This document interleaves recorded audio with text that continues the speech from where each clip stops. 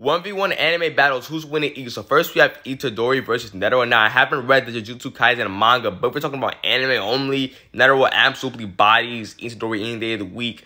Uh, Netero fought the king, and the king just showed up like a mountain-sized thing. And also in Hunter Hunter, the narrator stated that Meruem moved at the speed of light, and Netero was able to fight Meruem. Next, have Yamamoto versus Natsu. Now, some Bleach fans just swear Yamamoto just wins, he slammed, and their reason for it is because they say, oh, Yamamoto doesn't use fire, he uses Reishi. That's basically saying Natsu doesn't use fire, he uses magic. Yamamoto's fire, Reishi still takes the appearance of fire and still has the properties of fire, which means Natsu can't eat because Natsu eats the properties of fire. And then on top of that, all Dragon Slayers are immune to the original element, so his fire is not really going to do much to Natsu. Next, you have Gear 5 Luffy versus Toneri. Luffy will absolutely destroy Toneri any day of the week.